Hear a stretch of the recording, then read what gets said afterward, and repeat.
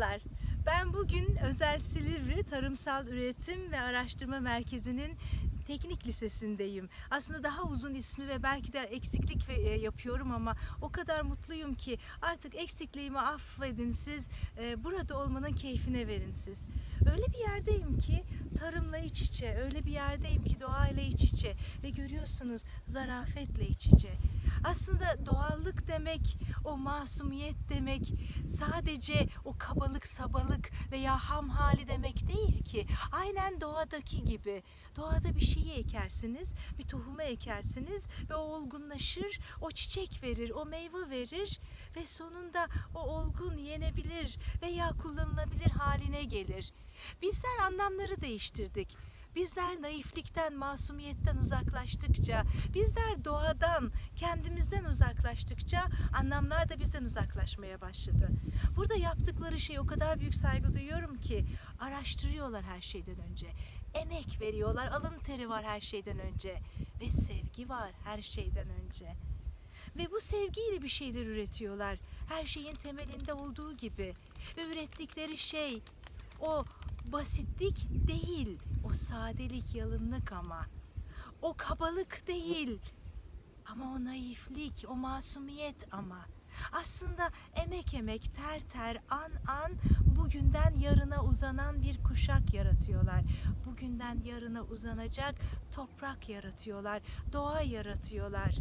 Yani geleceğimize sahip çıkıyorlar. Bizler masumiyeti mı başladı acaba her şey? Bütün çözülmeler, bütün bozulmalar. Bizler acaba insanlığımızı unuttuk da ondan mı başladı artık anlam bulmaya çalışmalar? Tekrar yeniden yaratmaya uğraşlar. Bizler acaba kendimizi unuttuk da ondan mı bu kadar ortaya çıktı maskelikler, bu kadar fa- farklı sahtelikler ve sürata yaşanan hayatlar? Oysa doğada her şeyin yanıtı var. Şiirim geliyor çok öncelerden aklımda. Neden aklımda biliyor musunuz? Çok ben şiirleri ezbere tutamam ama bu çok kısa olduğu için aklımda. Kiraz ağacı tek yaşamazmış. Kırılır gidermiş. Dal dal, yaprak yaprak. İnsanoğlunun kuruduğu gibi yalnızlığa tutsak. Biz kendimizi yalnızlığa tutsak etmişiz. Oysa bilmemişiz ki doğada her şey birbirinden etkilenir. Birbirinden beslenir, birbirine ihtiyaç duyar, birbirine dayanır. Ve bu dayanma vardır ki aslında birbirinden renk almak, zevk almak, tohum almak, çiçek almak demektir. Bir arının çiçeklerden bal yapması gibi, bir bitkinin diğerine ihtiyaç duyması gibi, bir canlının diğerine ihtiyaç duyması gibi. Biz masumiyeti unutmuşuz, biz doğallığı unutmuşuz, biz kendimizi, özümüzü unutmuşuz. Ama şimdi hatırlama vakti. Hiçbir zaman geç değil. Eğer bugün doğruyu yapıyorsak eğer hiçbir zaman geç değil. Bugün muhteşem bir grupla bir aradaydım. Öğrencilerle.